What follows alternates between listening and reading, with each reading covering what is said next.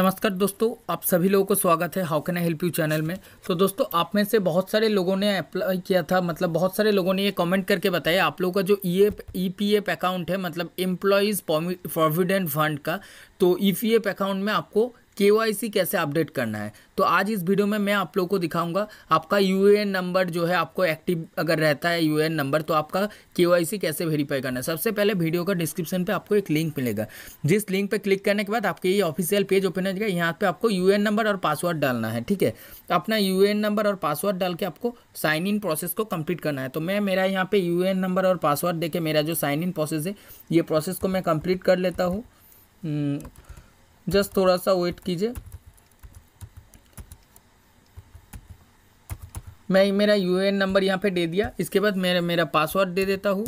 तो आपको अपना यू नंबर और अपना पासवर्ड डाल के आपको यहाँ पे उसके बाद ये जो सिक्योरिटी कैप्चर आप देख रहे हैं, ये सिक्योरिटी कैप्चर आपको सेम टू सेम यहाँ पे डालना है।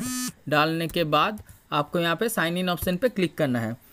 साइन इन ऑप्शन पे जब भी आप क्लिक कीजिएगा, आपके सामने ये पेज ओपन हो जाएगा। आपको यहाँ पे फ़ाइल नॉट नो ही तो लेटर पे क्लिक करना है, ठीक है? लेटर पे क्लिक करने के बाद आपको यहाँ पे सामने अकाउंट वाला एक ऑप्शन आएगा। अकाउंट के बाद यहाँ पे देखिए ऑनलाइन सर्विसेज़। ऑनलाइन सर्विसेज़ एक मिलेगा, आपको यहाँ पे मैनेज बोल के एक ऑप्शन मिलेगा। आपको क्लिक करना है मैनेज वाला ऑप्शन पे। मैनेज वाला ऑप्शन पे जब भी आप क्लिक कीजिएगा, मैनेज वाला ऑप्शन पे क्लिक करने के बाद आपको यहाँ पे देखिए के तीन नंबर पर आपको के डिटेल्स आपको यहाँ पे शो करेगा। के पे आपको क्लिक करना है। के के क्लिक करने के बाद आपके सामने ये पेज ओपन हो जाएगा।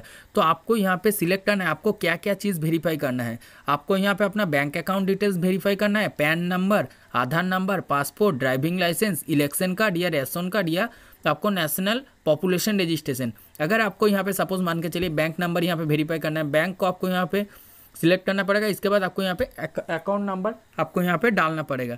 तो यहाँ पे आपको अकाउंट नंबर जो भी बैंक का अकाउंट नंबर रहेगा, आपको यहाँ पे डालना पड़ेगा। उसके बाद आपने जो नाम जिस नाम से आपका ईपीएफ अकाउंट खुला हुआ है, उस नाम को आपको यहाँ पे डालना पड़ेगा, ठीक है?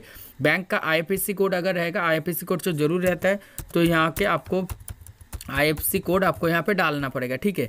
देन ये वाला ऑप्शन हो गया। आपको पैन नंबर कैसे करना है? पैन यहाँ पे क्लिक करना है, उसके बाद पैन का डॉक्यूमेंट्स नंबर आपको यहाँ पे देना है। तो पैन नंबर आपको यहाँ पे देना है, उसके बाद आपको यहाँ पे नेम जो रहेगा आपका पैन नंबर के जो भी नाम रहेगा, आपका नाम यहाँ पे सेम टू सेम डालना है। हो गया एक नंबर आधार कार्ड फिर से आपको यहाँ पे राइट पे क्लिक करना है। आधार कार्ड आपको यहाँ पे क्लिक हम्म, करने के बाद आपको यहाँ पे आधार कार्ड नंबर देना है नेम डालना है जो नेम रहेगा आपका।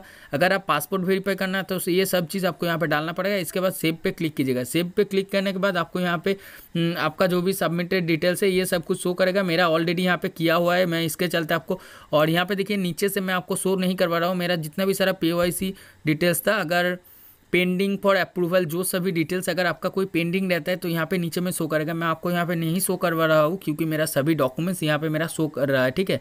मैंने ऑलरेडी मेरा जो ईपीएफ का अकाउंट है ईपीएफ का अकाउंट को मेरा फुल के किया हुआ है। इसके चलते मुझे कोई भी मतलब इशू नहीं है। तो मैं आप लोग को जस्ट प्रोसीड्योर बता दिया, इस प्रोसीड्योर को फॉलो करने के बाद आप लोग जो अपना जो काम ये कर सकते हो, ठीक है?